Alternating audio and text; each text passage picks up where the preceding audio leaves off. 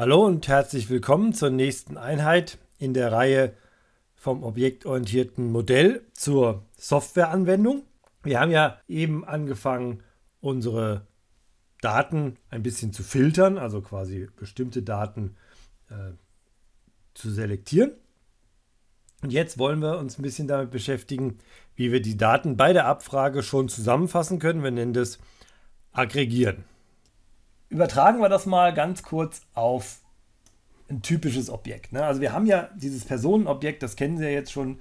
Äh, ich habe das jetzt mal hier noch um ein Alter äh, angereichert, habe dem jetzt also so ein Given Name, Family Name und Alter äh, verpasst.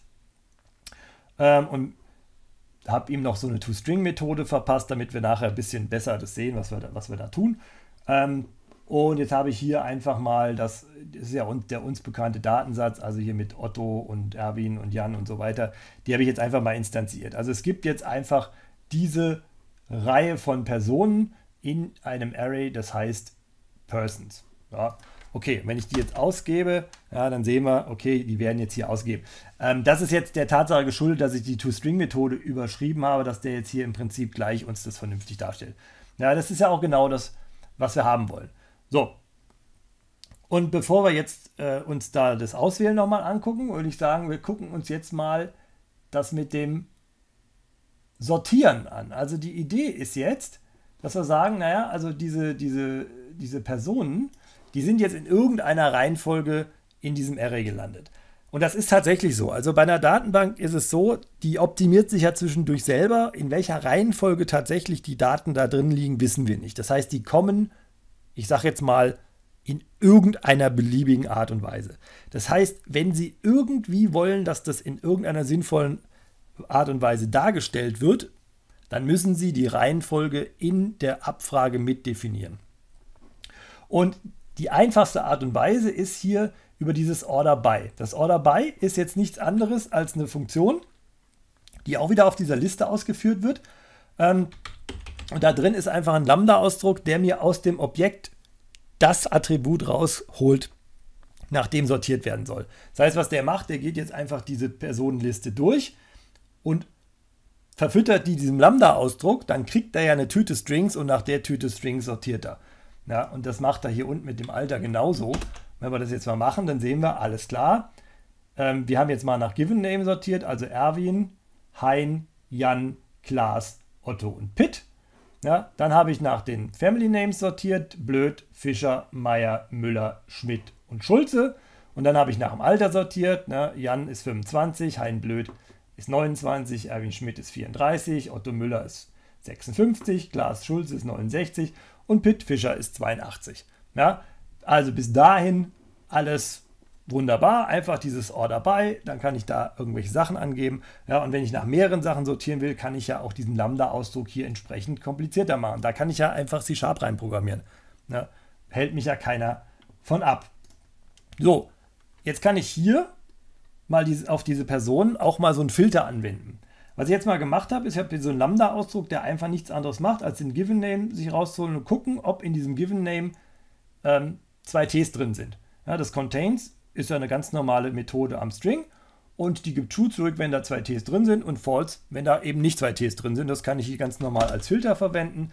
Und dann sehen wir, okay, also Otto und Pitt haben zwei Ts in ihrem Vornamen, ne, alle anderen nicht. Gut, jetzt ein einfaches Beispiel, aber ähm, so funktioniert es. Das Ganze kann ich jetzt auch beliebig kaskadieren. Ja, also nehmen wir mal an, ich möchte jetzt zum Beispiel die Zahlen nach ihrer Quersumme sortieren. Jetzt mal losgelöst vom Sinn dieser Veranstaltung. Jetzt geht es einfach mal ums Prinzip. Also, dann könnte ich jetzt so eine Methode schreiben, die mir aus einer Zahl die Digits rausholt. Also im Prinzip immer durch 10 teilen. Ja.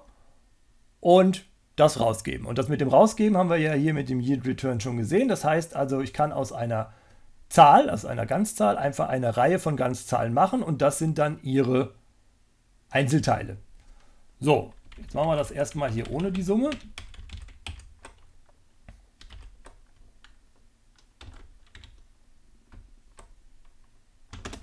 Dann sehen wir, okay, also aus der 436000760 wird 436000760. Das passt.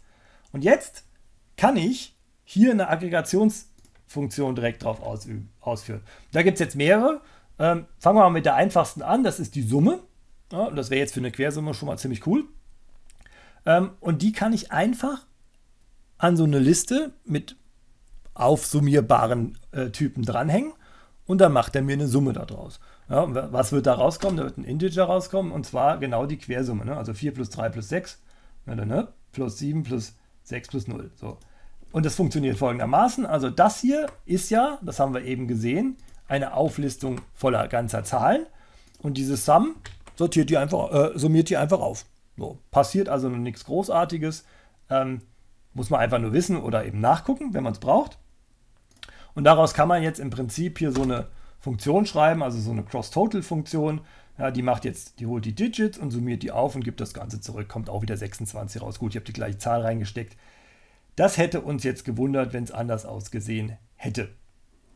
Ja, und jetzt benutze ich die mal, indem ich hier erst 20 Fibonacci-Zahlen mir nehme und jetzt sage, sortiere mir die doch mal nach der Quersumme.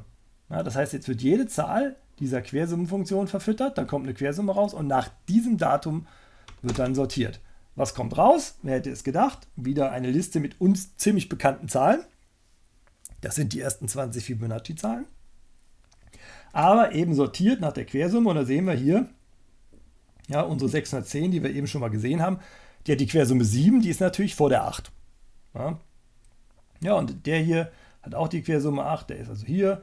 Der hier hat schon mal die Quersumme 9, der hat die Quersumme 10, ja, sehe ich, also wird das hier immer größer. Klar, die größeren Zahlen haben natürlich auch in der Regel eine größere Quersumme, die sind dann hinten, ne, aber jetzt zum Beispiel die 987, ne, das ist schon mal eine ziemlich große Quersumme, die ist natürlich ganz hinten gelandet.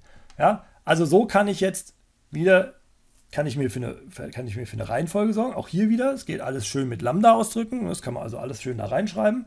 Ja, auch hier wieder ne, die Frage, in welcher Reihenfolge es macht, also ob man erst sortiert und dann um, ummodelt oder erst abfragt oder dann sortiert und so weiter.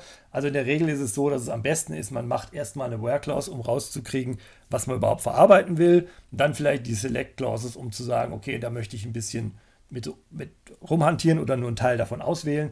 Und dann ganz zum Schluss in der Regel so eine Order by Clause, wo es dann darum geht, in welcher Reihenfolge soll uns denn das Ganze hier ähm, da geboten werden.